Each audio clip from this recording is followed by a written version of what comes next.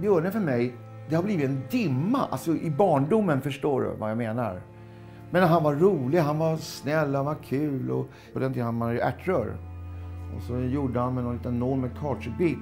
Så låg man och sov, så sköt han under fötterna så här va. Och man låg där och så, vad är det här för någonting?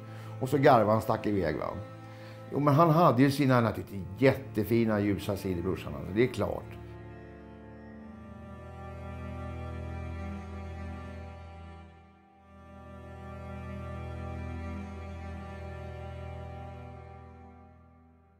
Under 80-talet flyttade Björn Habolin till Norge med sin dåvarande sambo och deras gemensamma dotter.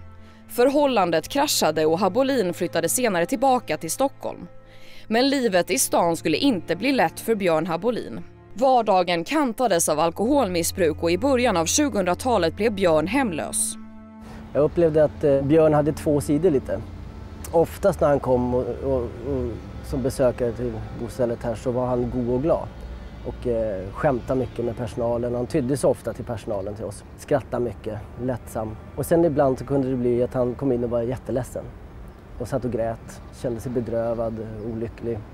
Den sista tiden i livet bodde Björn Habolin på bostället på Högbergsgatan i Stockholm. Han var punktlig med att infinna sig utanför bostället för att garantera en sovplats. Sin sista natt i livet den 25 mars spenderade Björn Habolin på bostället. Man vet inte exakt när han lämnade platsen. Kort därefter påträffas delar av hans kropp styckad och dumpad. Så att visst är det tungt ibland, det är det. Ja, ja. Det är mycket tårar som har kommit. Hmm.